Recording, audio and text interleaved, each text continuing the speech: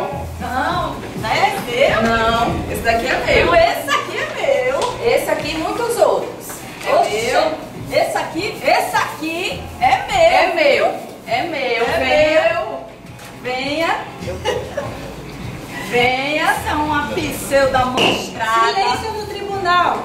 Hoje nós vamos julgar o caso de duas bactérias que disputam a posse do mesmo médico. De um lado está Staphylococcus aureus, do outro a Pseudomonas aeruginosa. Staphylococcus, como foi que você conheceu este médico? Bem, na UTI, Beretíssima, eu estava lá, quieta, no meu canto, colonizando uma paciente. Quando inventaram de pedir a esse doutor aí fazer um acesso venoso central. Aí, deu no que deu. Como assim? Bem, eu entrei em contato com a pele dele, porque ele não lavou as mãos após o procedimento, para variar. E agora, pessoal, eu não saio daí de jeito nenhum, Por que você não quer mais sair da mão dele? porque é muito mais legal. A UTI já estava cansada, entediada, estava monotonia completa. Então, agora, ele me leva para passear. Eu conheço todos os lugares do hospital. Enfermaria, centro cirúrgico. Inclusive, ele já me apresentou até os pacientes. Ah, tá muito legal. Daí eu não saio não. E você, Pseudomonas? O que você tem a dizer a seu favor?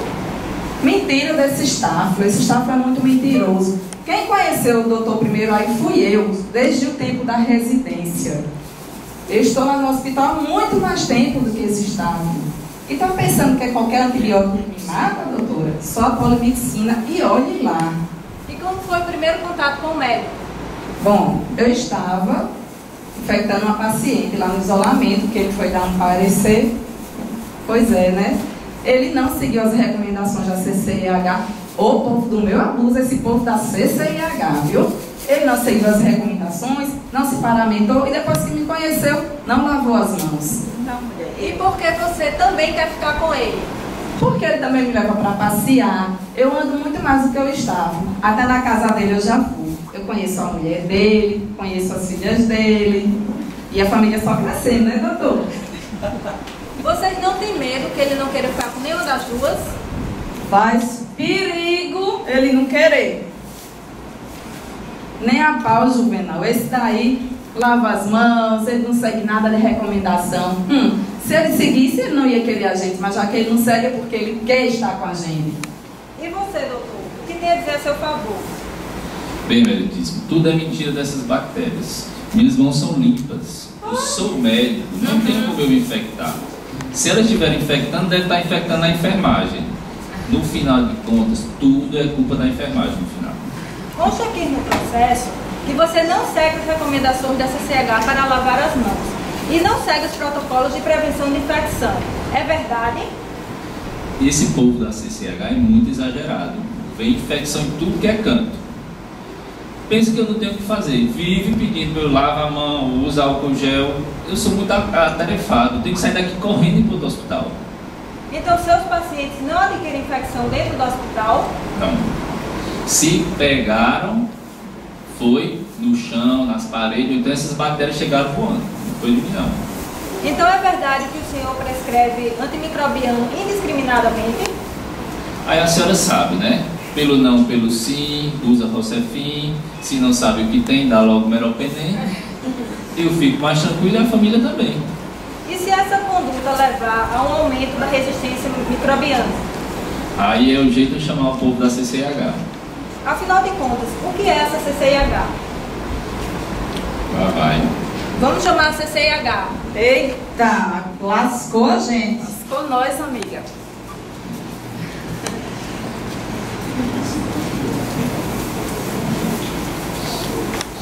CCIH, o que você tem a dizer? Meritíssimo. A CCIH ela é o órgão de assessoria à autoridade máxima da instituição.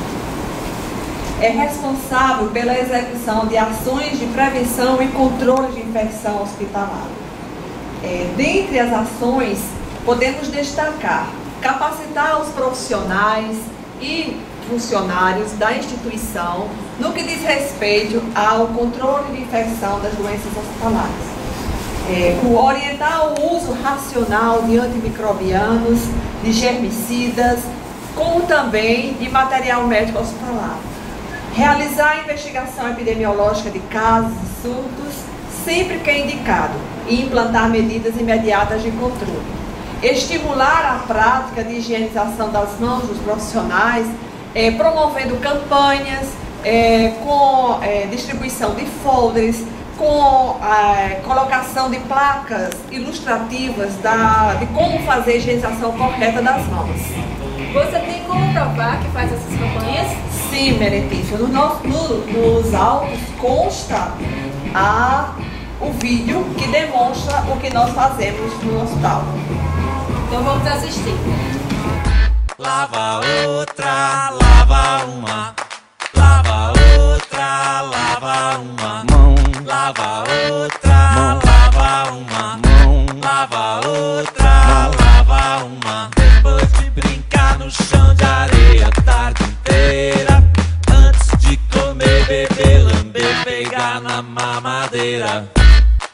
Lava uma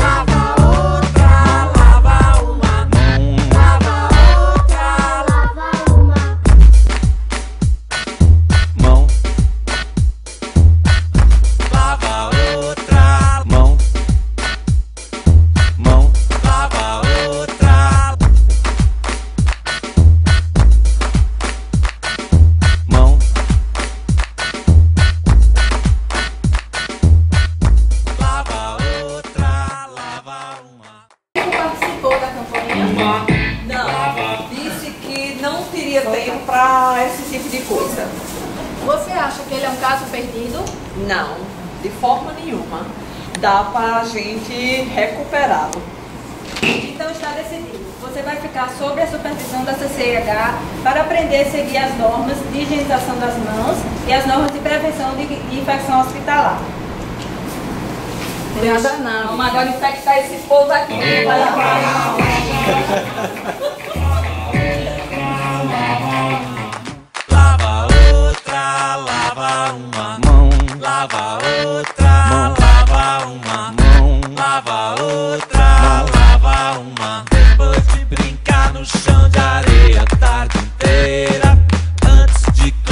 beber, lamber, pegar na mamadeira.